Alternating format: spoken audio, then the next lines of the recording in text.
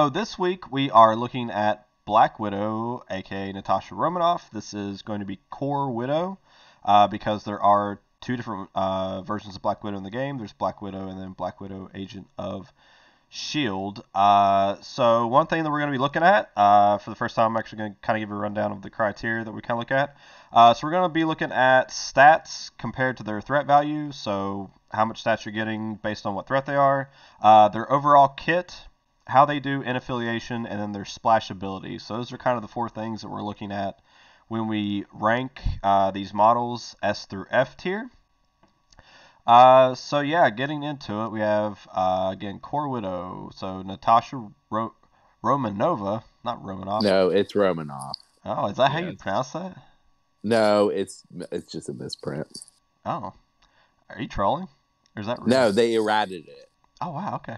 Uh, so, So it- oh, go. Go go over two, like go past her injured card. Hey, let's see. That's awesome. Look at that. Look at that. CerebroMCP.com, everyone.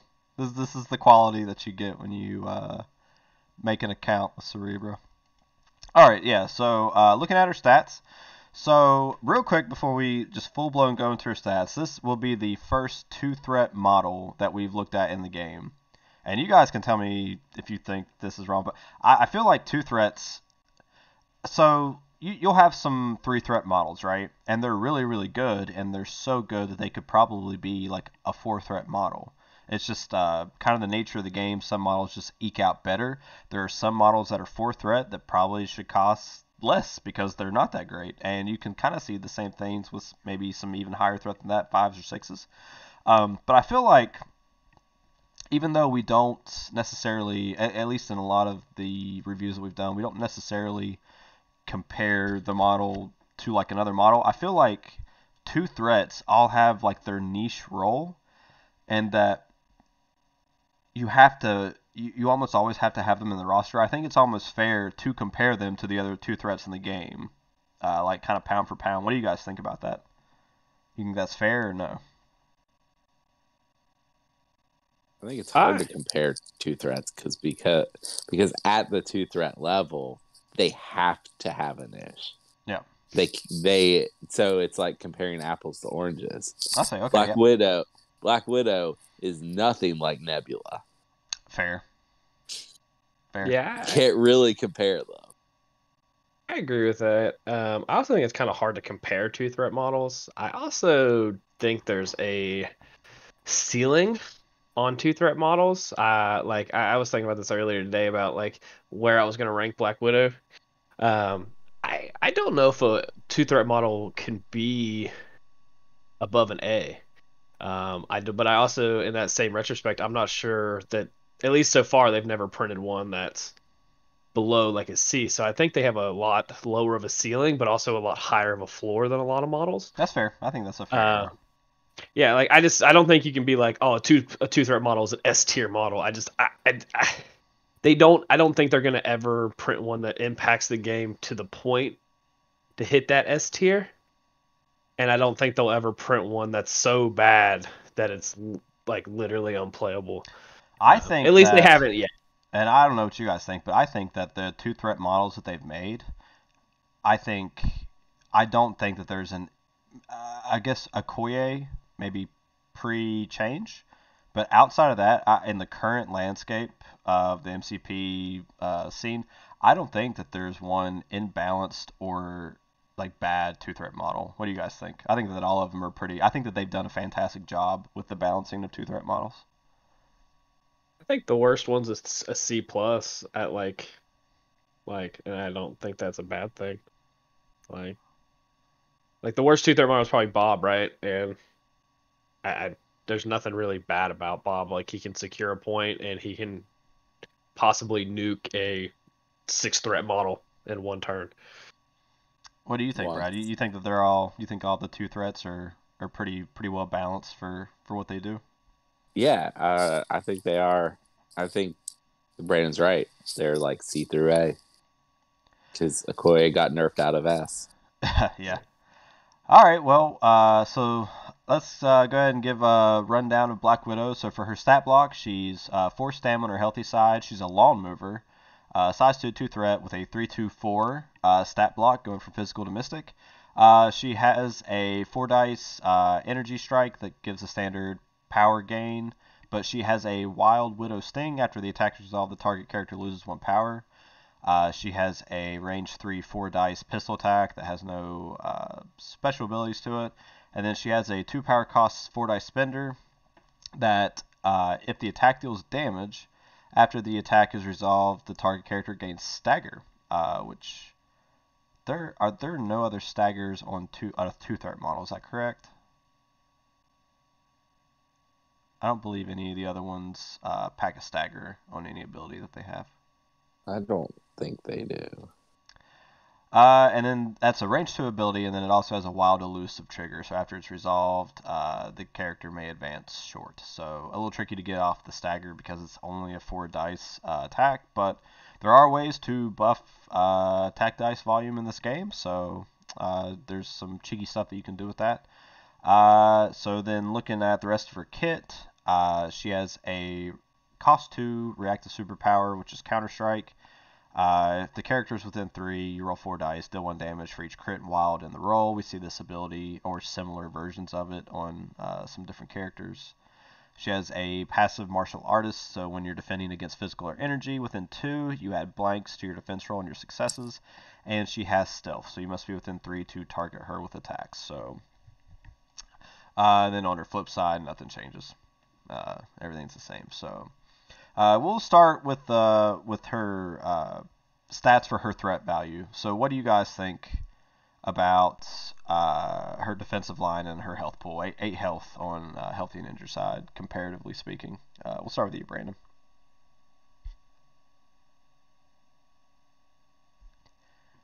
Did we lose Brandon? Are you muted? You hear me? Oh, we can now. Mic, yeah. Okay. Sorry. I think my mic went a little crazy.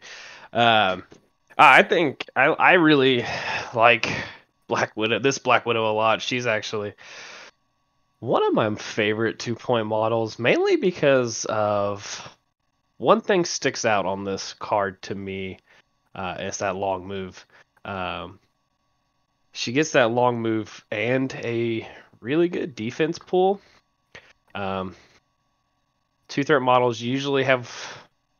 She's the only two threat model with a four die defense, if I'm not mistaken.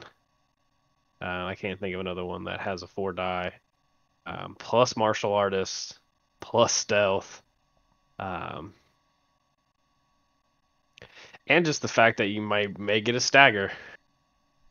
I Yeah. mean, Yeah, I, yeah, I, I feel like that's something.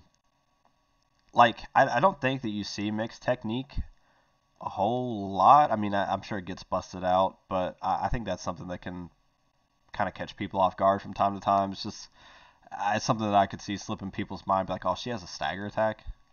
So I forget about it when I play against her, and all the time. what's uh, I'll I'll, I'll uh pitch it over to Brad really quick. Brad, will you do me a favor and check what what's the average health pool on a two threat model? Do you happen to know, or you can look for a second while I throw it over to Brad. Yeah, I'll check it out. What do you think about her stat block, Brad? Uh, just kind of looking at her defensive value and health pool and stuff. Um, I mean, two point long movers, all you really need to know. The four point mystic didn't used to matter, or the four die mystic didn't used to matter, Mhm. but there's a lot more mystic attacks now. So that's that's just great to have. But like, I mean, there are four things on this card that I love, and it didn't. It wouldn't matter much what anything else said. What are those four things? long move, counter strike, martial artist, stealth. Yep. Yep. I mean, you're right. The martial arts. All that on a all that on a two pointer, like Oop. that's great. It's Yeah. really good. Yeah. I don't even ever look at her attacks. Uh, The amount It's of every- attacks yeah, I've made with else. her is it's very small. Like I don't make very many attacks with her. Uh, a lot of the time, I mean, to to speak to both these guys' points, the long move is incredible on especially a two threat model.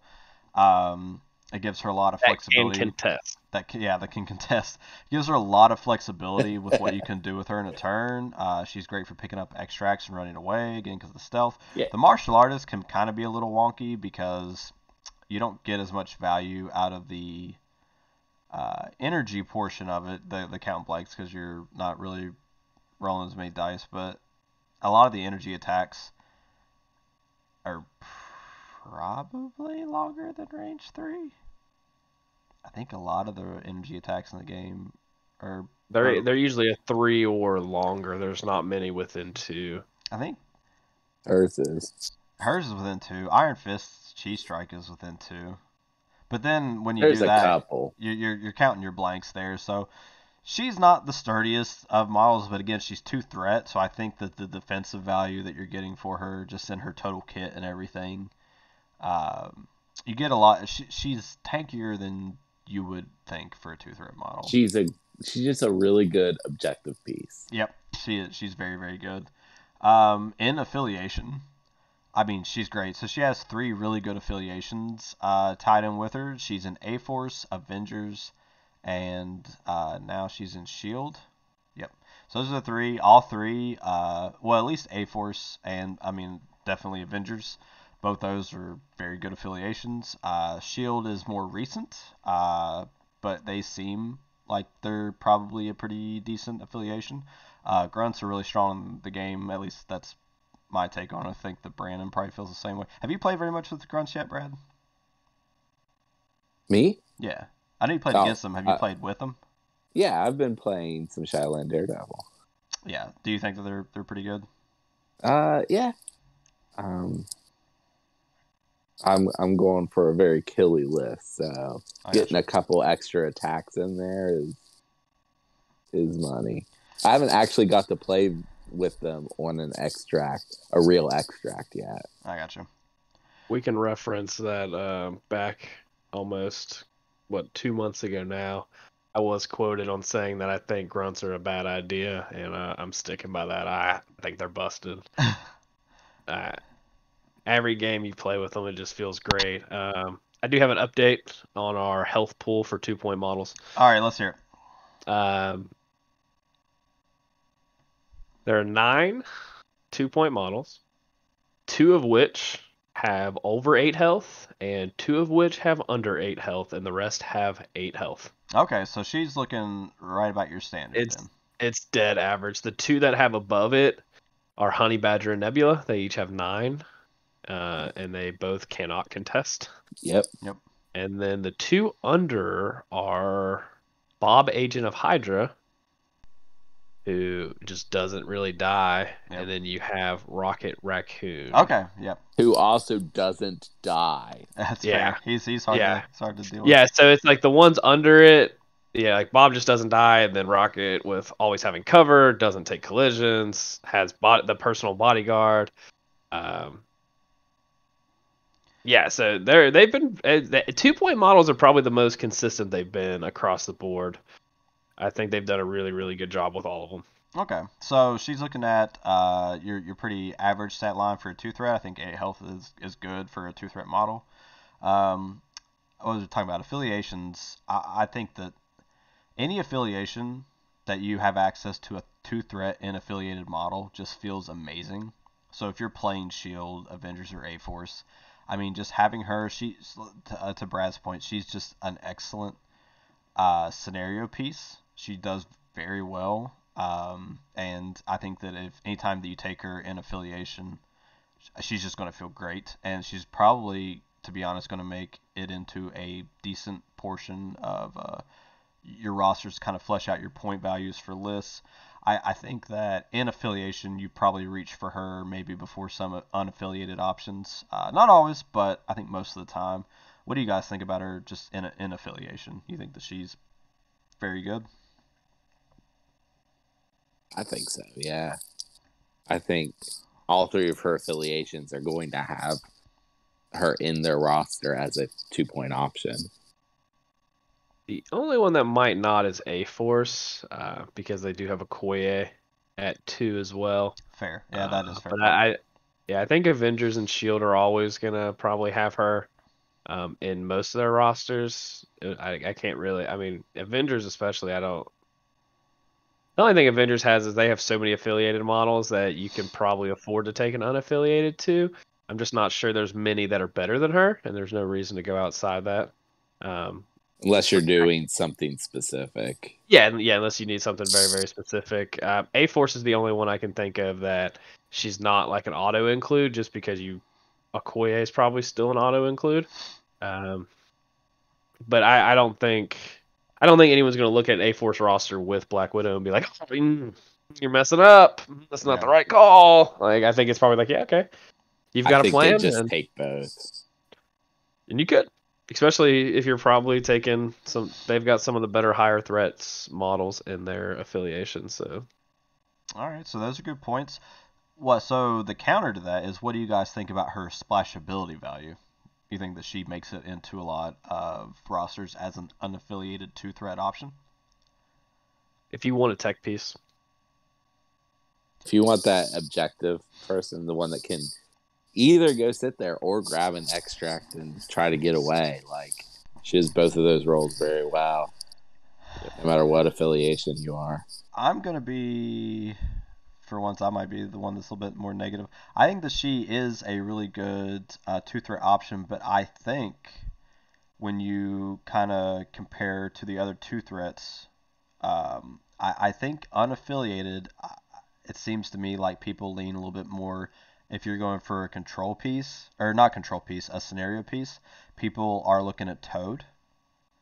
Uh, maybe as an unaffiliated two to kind of fill that slot versus Widow. Um, if you're looking for That's a something, fair point. if you're looking for something a little bit more defensible, I think that still people probably reach for Okoye uh, a little bit more uh, because she brings like a bodyguard and stuff like that. So if you're looking for somebody to sit on a point, stealth and martial artist, I, I still think that just Okoye is maybe a little bit of a better option. And then if you're looking for something that's violence, I mean Rocket Raccoon is really good, but I mean I'm pretty high on Bullseye, which I think both of you probably like Bullseye pretty well too. Correct?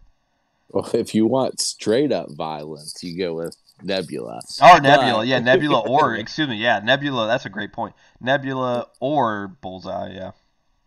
I You- I I really like new Bullseye, so I'm not going to argue against Bullseye. I like uh, one thing with Widow specifically. I would like to just point like that long move though is so crucial um, because she can go, she can take the back like your opponent's front point, uh, and if they can't kill her, that next turn she's gone and they're not catching her. Yep. Um, so if she can go, so something I like to do, and she's in my criminal syndicate list because on superpower scoundrel she can just go to the. I can take the opponent's front two points uh, with Black Widow and Lizard. I can just go sit on both of them from front point because Lizard's medium move, medium base, and then her small base, long move can get me on those both points. So then you can take them, and then now you probably have five right off the gate before you even count extracts, um, which can get the game can get really out of hand. So I don't need her to really survive, especially if they're close. Like I just, you know, she's done her job. Um, the one thing is like I, I think for the tech piece, uh, it's her Toad, um, and I do think you have to be playing an affiliation for Toad that can give him power, because he like he can use the power. So if you're playing an affiliation that you know the leadership can kind of help power, or even uh, Steve Avengers where you're lowering the cost. Um, Toad having you know finders keepers, hop, slippery. Uh, that allows that was I think those are all two. So then uh, they're all going to cost one, uh, which is really good for him. Um, but again, it's a medium move on a small base. He can't get to all the places that Natasha can. So it's really going to depend on your roster. I do think there are still a decent amount of rosters that want her. Um, it's fi- if I mean if we were ranking all the twos, I think she's you know in the middle towards the top. I don't think she's at the top. I think she's. I think that she's probably more in the middle just because she I mean two two threats are some of the some of them are some of the most or the highest splash models in the game, right? Yeah. Like some of them so I I I don't think I think to your point like she can be a cheeky tech piece if you're running uh, unaffiliated. But I don't think uh, for a majority of it that you're really reaching for as like an unaffiliated two threat option to go into a roster. So in affiliation, she's she's outstanding. I think that we're all kind of sitting in the same boat that she's not super splashable unless to Brandon's point you're kind of running her as a cheeky tech piece. Now there are some fun things you can do. I, I believe that we had a local uh, playing Avengers and he brought Baron Mordo in. So when you're getting six dice mixed techniques, the chance of you doing one damage and staggering are actually pretty high, which uh, can be gross on uh, a two threat model. So That sounds like Michael. Yep, uh, that you're be correct. Uh, so uh, six dice, mixed techniques, really good. Get stagger out. Uh, I could see her being a two threat splashed option in Black Order, because sometimes you know you have your core of uh, Thanos Corvus Proxima. Uh, if you have an odd point value that you want to fill out, uh, so like if you're playing like 18, you can take Black Widow. Uh, Death's Decree uh, mixed technique again, six dice staggering can help you prevent something that could kill potentially Thanos or Corvus. So uh, Um, there's some cheeky stuff. Or you can do. just Oh, ag- against them? Okay. also if you're play if you just think that's a good play to play both of those, you can just play Black Cat for three points and pay two power and stagger them every time. do double stagger. Yeah. Yeah. So at range three. So Yep. Uh, that'd be gross. Just make a what a stagger comp. Ah. stagger's good. It's yeah. Kids at home, if you want to make a stagger comp, just go search tags in cerebromcp.com for stagger. There you go. Uh, Uh, People would think we're sponsored by Cerebro MCP or something. did uh, is Black Cat Defenders? I can't remember. Yes. There you go. No. There, no. No. Oh, that's sad times. I was gonna say that that could be your defenders roster. brain. just play She's strange. Midnight. She's Midnight Suns, Web Warriors, Syndicate, A Force. I will Um, say, I think I do think Black Cat hurt Black Widow as far as roster construction goes. I think before Black Cat, Black Widow was a lot more commonly splashed. I think Black Cat kind of, it's hard to. That tech piece is better off at three. Guys, you want to know what I just learned? what? Black Bolt, Black Cat, Black Dwarf, and Black Widow all have something to do with stagger. Really? Wow. That is I actually interesting. What's his Black Bolt do? Is he immune or is he give stagger? He gives stagger on Whisper. So all those models give stagger. That's actually really impressive. Now Yeah. there we go. Trigger on his range three brutal. Oh, end, okay. and- Well, then we're gonna put this to the test, right? Once they give us the rules for Black Swan. See? Eh, Stags. Give me a Stags. That's two Black Order members with Stagger too. Yeah. Wow. I Good have catch. no idea. That's actually a really cool catch. Is it every single? Does every single model that starts with black have a stagger? Is it Well, all the of them? other the other Nah. Black Widow doesn't. Okay. Black Panther doesn't. And Black Panther doesn't, yeah. Okay. Well, we're Uh, we're on to you, AMG. The other four that do though. There are only six. We're on to you. We know your schemes. That is a high thing. My every time I've ever done brutal end with Black Dwarf, my opponents ask me if it's really range three. Every time. it doesn't seem like you should have a rage three attack. I mean, it's good though. Feels mean- good. Black Dwarf just catches people off guard because it's Black Dwarf, because no one ever plays him. So They should. He's great. he is actually Okay. He is good. If Uh, you want to make a uh, stagger roster, it should be uh, A Force. Okay. Do that. All right. Well, uh, so kind of moving on now to our ranking of uh, Black Widow, uh, Natasha Romanoff. Oh, I will cover this really quick. Uh, so she does have a tactics card that is her and Clint Barton. Um, we don't necessarily cover all the tactics cards, but where both Hawkeye and Widow are in uh, Shield together, this might see some play, especially if Shield is like an affiliation you're looking at. So it's uh, professionals, which is unaffiliated just requires you have Natasha Romanoff, so either Core Widow or uh, Widow 2. Uh, and Clint Barton may spend two power each to play this card. If Clint damages a character with an attack and Natasha is within two of the damage character, you may move one asset or civilian token from the damaged character to Natasha. She's not holding it, and it does not allow her to hold more tokens than the crisis specifies. So there's a lot of actually like real cheeky cards that Shield has that comes in Fury's box as far as um, different stuff that you can do with like uh, especially with grunts, just like interacting with uh, assets and civilians and stuff like that. So. Uh, what do you guys think about this? You, you guys think it'll see some play in Shield? I mean, I don't think it's going to see play anywhere else, but in Shield it might. There's a cheeky. I mean, if you're playing Deadly Legacy viruses, uh, if you can get one with her, one with Clint, and then with the grunts being able to pick it up, also pass it, like where you get to place it, Mhm. you could really kind of set yourself up with a play where she may be able to pick all three. And if there's a model on your list that you want to take that, take all three of those and skedaddle and give you eight points, your two threat model's that one, especially one that has stealth. Yep. But even then, I think they have too many cards that it might be hard to fit that in. But that's a cheeky That's play. what I was thinking. Yeah. But if you've got a plan and say everyone in your meta plays Deadly Legacy viruses, it may be worth it. It's not. This isn't a bad card. the The power cost is is a little. It's a little high, but. I, mean, think the I, I think the biggest drawback is the within two of the damage character. I, I, I wish that would said within two of Clint Barton, uh, because that means she's near a character, and if you're not dazing her now, she's, She's, not near the character. How did she get the asset token?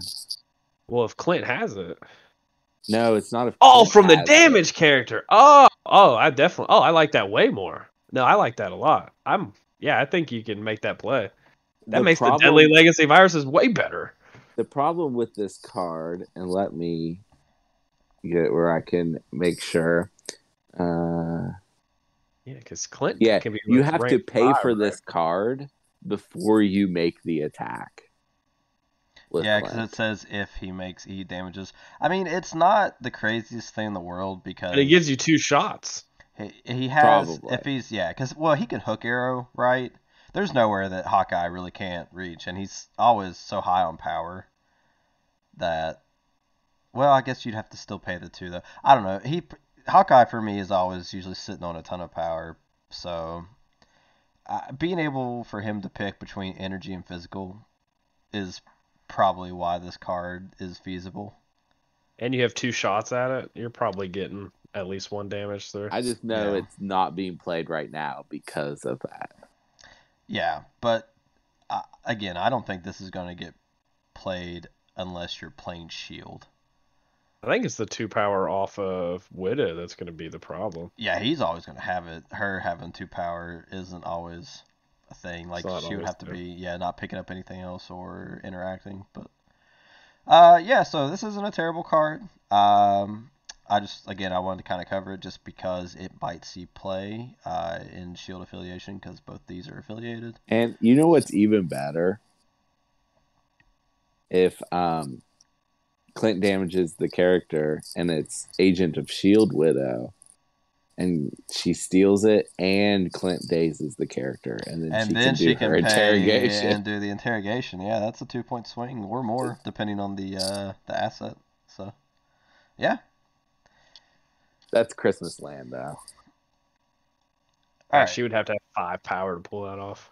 So, uh, looking back at Widow, uh, where are we placing her on the S through F scale? Uh, go ahead, Brad. We'll start with you this time. B plus. Okay. Um, very solid model that, um, as you said, gets kind of overshadowed by Toad out of affiliation. But just like if you're taking her, uh, she's gonna she's gonna sit there or she's gonna take an extract, and you're gonna be happy with what she did. Yeah. Um, I like her kit. Uh, I don't use the Counter Strike too much. I, I've played her quite a bit actually. I hardly ever make any attacks with her. Yeah. Um, but she's good for what she does. She's fast. She gets extracts and she runs away. She can move from one end of the board to the other, uh, flipping secures for you. If it's like Mutant Madmen or something, she gets around and she flips stuff. Uh, so I'm pretty high on her. I think I'm going to echo what Brad said. I'm going to give her a B plus. She's just a really solid two threat.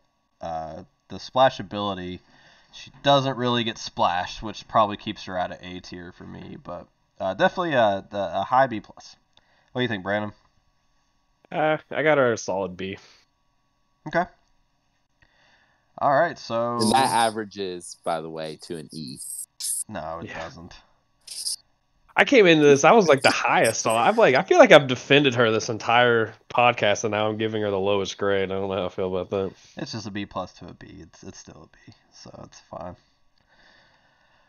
All right. Uh, well, uh, if you're wanting to play uh, Widow, um, just a recommendation of what you can play her in.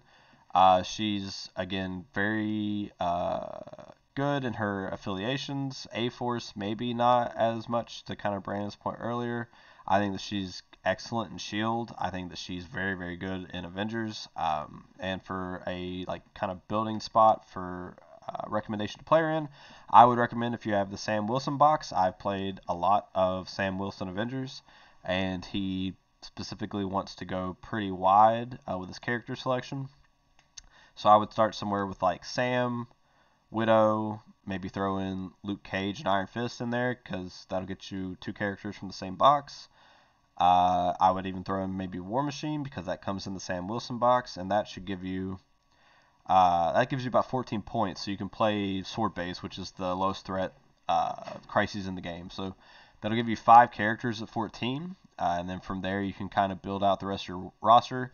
You can do all sorts of stuff like put in Steve Rogers if you want to continue the Avengers train. You can do what I like to do, which is put Hulkbuster in my roster. So uh, you can put some maybe beefier characters in there, or if you're got the core set and you're just picking up a couple boxes, you can throw in a lot of the characters uh, from the core set and put them in there, and you'll be just fine. So uh, Sam Wilson Avengers probably play something like Sword Base, uh, maybe a little bit wider uh, secures or extracts, something maybe like Spider Infected, uh, and that'll be a good place for you to start playing with Widow.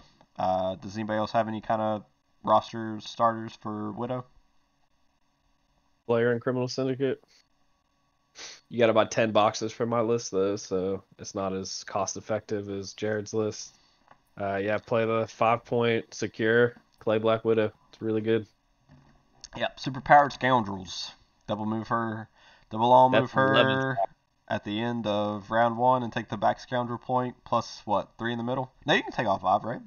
You can take all five. Yeah, you Yep. play Lizard. You take the left, the or their front point. You Black Widow takes their other front point, and then everyone else takes the your two fronts in the middle.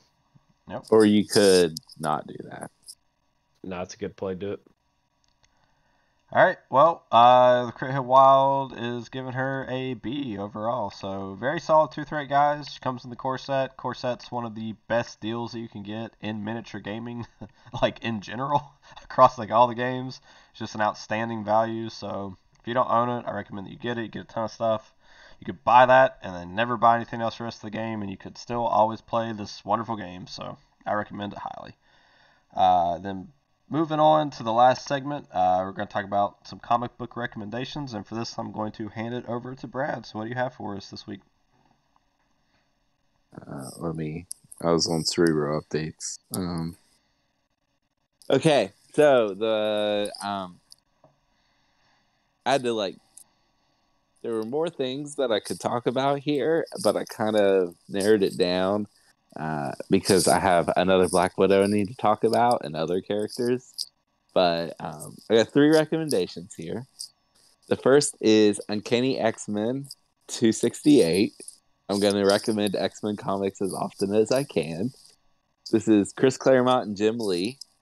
Um, so, in the 1940s, Captain America and Logan um, have to protect a Russian girl from Nazis.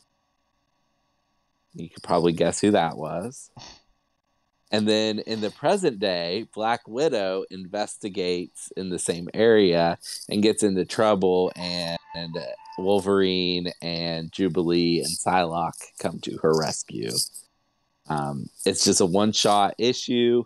You don't really need to know what else is going on in X Men for it. And um, it's one of the most iconic Black Widow, Captain America, and Wolverine stories. Okay. Like it's got all of them together, and um, it's pretty famous. Uh, these other two, um, I was gonna say I haven't read them, but that's not true for one of them. So the next one I have not read. Um, it's Black Widow Widowmaker by Jim McCann and David Lopez. What a- Um, what a title. what Black Widow Widowmaker? Yeah. So I'm recommending this because from what I could find, um, it it ties in. It doesn't directly tie into the MCU, but people who are fans of the MCU will find some things that seem familiar because it's um, it's Natasha and Clint Barton uh, teaming up, and they're teaming up to hunt down an assassin that's going by the alias Ronin which Clint used to go by. So um, there's a lot of little things that the MCU's doing that it also kind of shows up in this comic. So, All right, cool. Uh, and then the last one, um, oh, there's more. Look at you. You've really yeah, gone all out this week. three. I, I There's missed that three. part. means he had to find six because he's got another Black Widow to prepare for. Uh, yeah, you there were there were there some. were there were things I had written down that I'm like, no, this will fit better for Black Widow, Agent of Shield. I like it. He's doubly prepared. Oh my god. This is the research you get on this channel. You don't get Yeah. that anywhere This else. This is the quality that you get when you listen to the Crit Hit Wild podcast. So the, the last one is Black Widow, the finely woven thread. Um, it's by Nathan Edmondson and Phil Noto. And this one is worth recommending just for the art. Uh, Phil Noto is one of the best artists in the game right now. Uh, the art is beautiful in this comic, and it's just a series of one shot stories. Um, and they kind of hint at and like um not really explore but they kind of bring together because she's been in the comics for what like 50 years or something like that this kind of brings together all the different versions of her that have shown up in the comics over the years and kind of makes them one person and makes sense um and i cannot stress enough at how pretty the art is Okay, cool.